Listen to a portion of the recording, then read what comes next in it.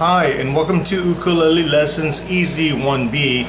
Uh, we're going to get started and uh, get you into playing some songs here. Uh, we're going to be playing two songs coming up very shortly, uh, Long Long Ago and Buffalo Gals.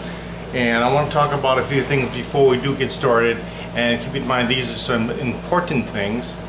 Now, for the lessons and the course, always remember to preview the music first. Okay, so you want to, what you want to do is before you even play, okay, one of the things that you want to do is you want to preview the music. Look at the music first, make sure that you understand it, you can play all the chords. Okay, for instance, the, one of the first songs coming up is uh, Long Long Ago in your music book on page number nine. So you notice that the the signature in the front is 4-4 over here, so that's uh, common time. We talked about in a previous video. And the chords are pretty easy. It's only C and G7, okay? You also want to notice that there's a rest at the very end. And that basically means that you're going to stop playing on that beat. And we'll go over that second. Uh, we'll go over that later on some more. Um, the last drum will probably be over here on that on this first beat and then you stop singing and playing on that last beat. Okay, so some of the things you want to keep in mind is that the main things that when you're previewing the music, you want to make sure that you are familiar with all the chords and you can play them before you start playing the song. And also on page 12, the second song that we'll be playing is uh, Buffalo Gals. Okay. Uh, the chords for the song are basically C, C and G7, so it's all pretty easy. And nothing hard about it. Uh, do notice that there's a rest at the ending of the song. And once again, it's the same thing as the previous song, Long, Long Ago, where you're going to stop playing and stop singing. And that last note there, uh, you'll probably stop your strumming and maybe just hold your singing note. Okay. Now there's a rest in, inside here in about the middle of the page. Um, you can just kind of ignore that. The rest right inside here, I didn't highlight it. So you can kind of ignore that. Uh, but if, as you get better, you should kind of take notice the, the rest and the, how the music goes and try to pay attention to it.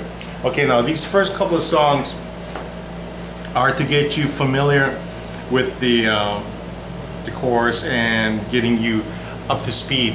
If you are in my, if you, you if you were in my previous course and you feel that this is kind of easy already, you can skip this tutorial and jump on to the next tutorial.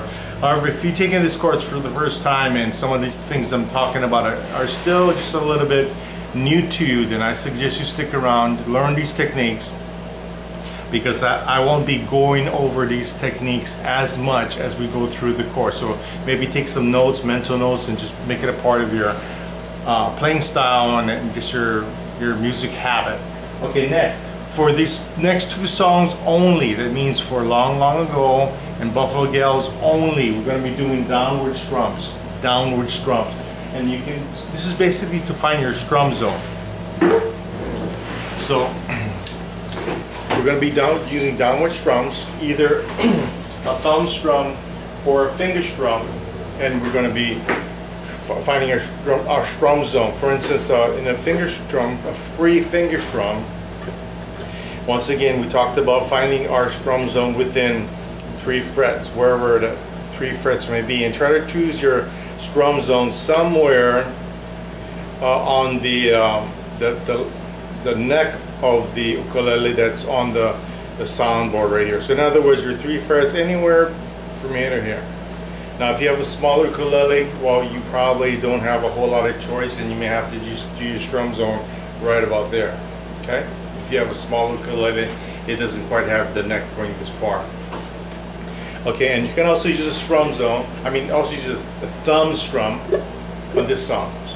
Two strums, free finger, all down, locating your strum zone within three frets or your thumb free thumb strum okay and I'll be using both of those to get you started uh, once again for um, students have who have already taken my previous course, you may use any one of the five strums that was uh, uh, learned in the previous course.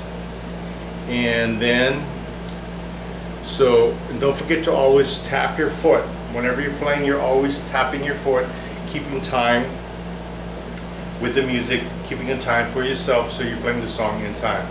Okay, uh, when you're ready, move on to the next tutorial and we'll see you at the next lesson.